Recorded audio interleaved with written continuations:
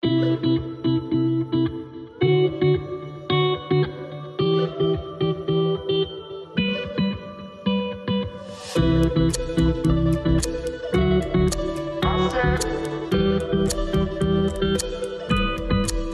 said,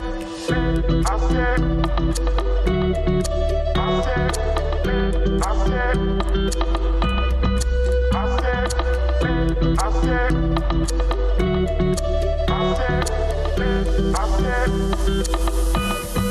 I said.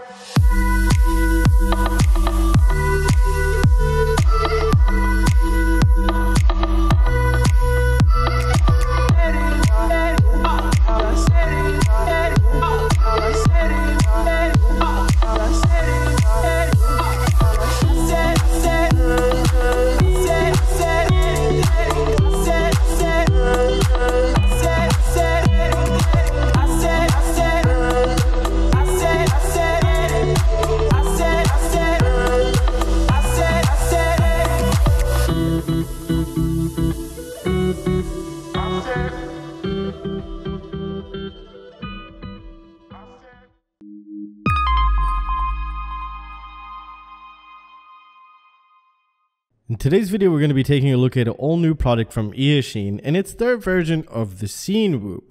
So there are a lot of things to cover today and also talk about, such as its flight performance. Also, how does it compare to the other ones in the market? And is it a great deal or not? So with that being said, let's go ahead and get started. So first of all, let's go ahead and cover the accessories they do provide you. Now they provide you with two sets of propellers, which are Gemfan, which is proper propellers here. And they give you two sets of Gemfans. Now these are the ducted 75 millimeter three blade propellers here. They are somewhat durable, which we're going to cover in a bit here. And these are actually really, really great in the overall experience. And I'll explain what I mean as we go along here. Now you will see some damage on this, which we're going to get into in a bit here. Now, some of the other accessories they do provide you is they give you these as well. These 3D printed parts right here, these little extra ones.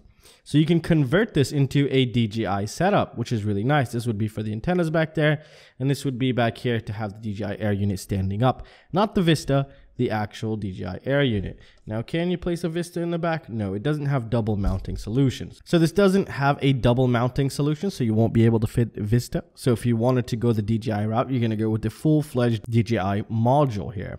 So let's put these to the side. They also do provide you with this right here, which kind of is like a universal adapter, and they give you the screw right here to mount any type of GoPro or and or action camera. However, they also do provide this one right here. And this one is basically meant for a GoPro session, but I was able to use my GoPro Hero 8 on it. And how did I do that? Well, very simple. I just undid the screws and I ran one of these battery straps under it. And that's it. I was good to go. And I actually used some of this right here. I got these from Banggood. These are these anti-slip pads. They're really, really great and very cheap. And they give you a ton of them in a bag or in a box. I'll have it linked down below. Definitely recommended here. So I did have one here and it kept everything pretty good and uh, damped as well. So that was really nice into that perspective. However, if you are going to use this for a GoPro Hero type camera, such as this one, there is something you need to take into consideration here, which might happen to you.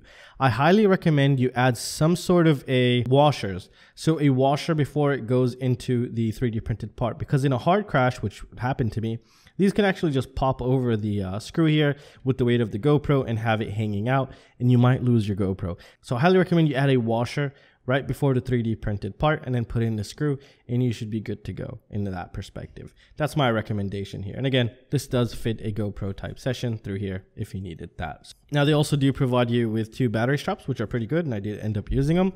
And they also give you an adapter for the USB so you can actually reach that in there. So you don't have to take this whole thing apart, you just put it in, plug it in. I misplaced it, but I'll find it later on.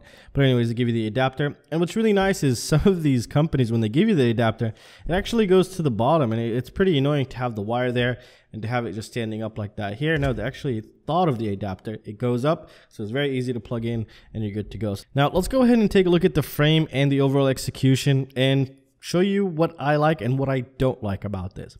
Now, I really do like the 3D printed parts here. They even have everything prepared for you as you need, and they also do provide you with the antenna needed, and you do have an XM Plus radio in there.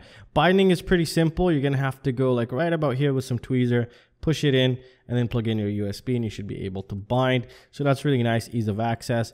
All of this was provided, again, which is really great. And if you had a Crossfire, the 3D printed part is already available to put either an R9M or a Crossfire, which is very useful if you wanted to change out the receiver. Now, the overall frame design, I think uh, they went to Flywoo to OEM this type of frame for them because I know I think they have a pretty good relationship here.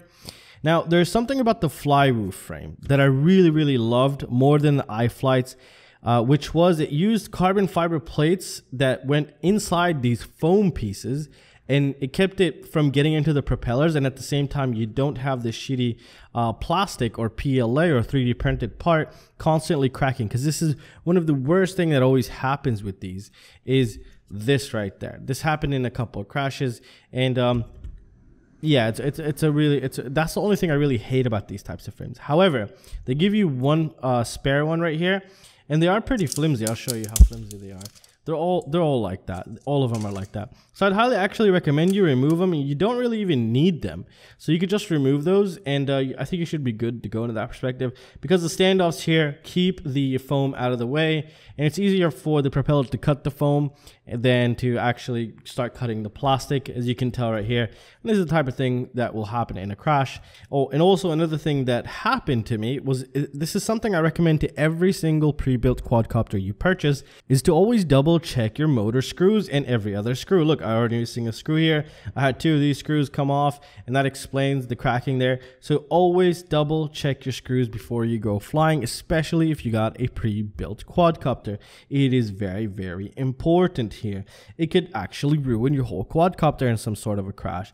For example, maybe the motor came off, cut the wire, shorted out the ESC, then you screwed up your whole ESC, and you don't want that. So just check your screws. Always check your screws, or you'll get screwed. All right, now let's move on. So before we dive a little bit deeper into here, let's go ahead and discuss the comparison between the current ones in the market.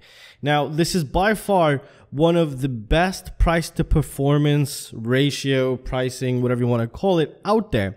And let me explain why. For example, we have the iFlight, I think it was called the Bumblebee or the Green Hornet. Now, the Green Hornet was not as powerful as this one. It felt a little bit more sluggish. This one was actually doing quite well with the wind, which was, I was, I was actually quite surprised at its performance with the wind, which I really loved. And it also slightly outdid the Flywoo Chaser's performance, which is another thing I loved because sometimes you can't control the wind and you might need a little bit of wind resistance and this handled just fine in that and I was very happy and you'll see the raw footage towards the end of the video. Now this one is the same around the same price as the iFlight Green Hornet. However for me this would be the obvious choice for a couple more reasons. One is the video transmitter is an absolute beast compared to the other ones I've tested from Flywoo and also iFlight. So the video transmitter here that is put into place is an absolute monster. It goes up to 800 milliwatts and it has pit mode. However, I was flying around 200 the whole time and it, it just outdid everything else I used, which again is very, very useful. Now also the battery execution is superb, which is really great. I didn't have to worry about the propeller going or the wires getting into the propellers. So in terms of execution and fiddling with it, it was really great. I didn't have any problems with that. Now if we move down to the flight controller and ESC, it does get kind of interesting. For flight controller, we actually have an F7 also with a barometer and also memory for black box logging, which is really, really great especially for 180 bucks. This is quite a freaking deal. And uh, so you'll be able to add a GPS and also have the altitude if you ever needed that. You can just stick that GPS back there. And if we even take a closer look on the inside, we do see we have a low ESR capacitor. I had no video, and I don't remember any, but you'll get to see the, the FPV footage. I didn't have any FPV noise that really bothered me or I didn't even notice to be honest. And for the camera, they're using a proper camera here. They are using a Runcam Nano 2, which is a proper, proper camera. So that is, again, really great to see from Eachine. They are actually trying to make proper products here.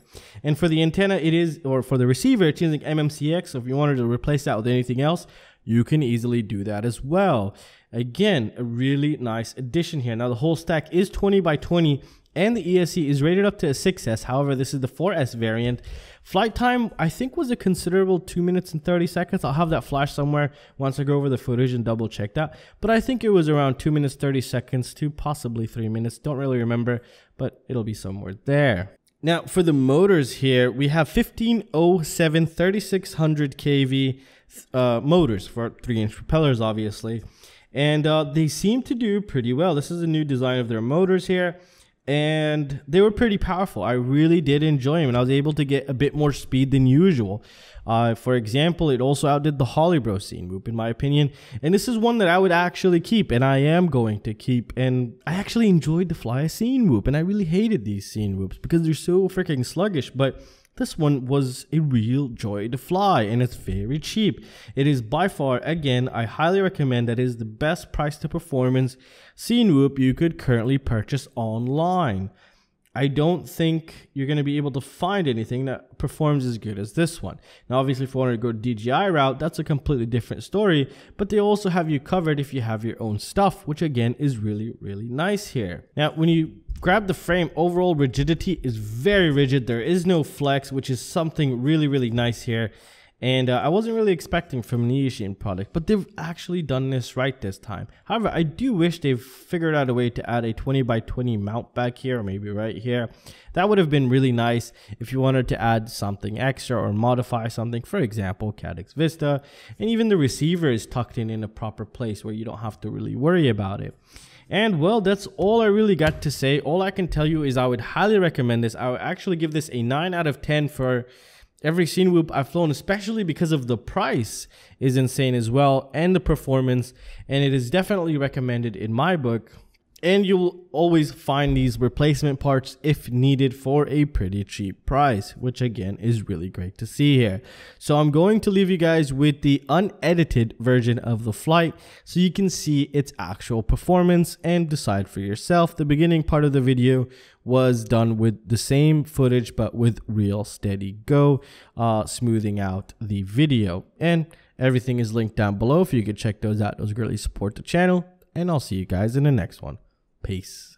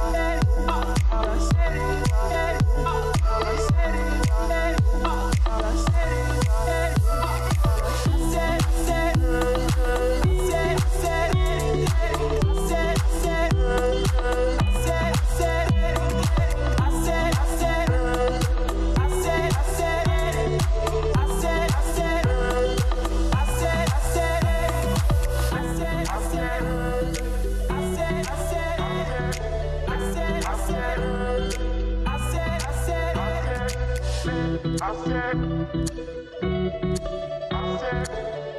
I said. I said. I said. I said. I said. I said. I said. I said.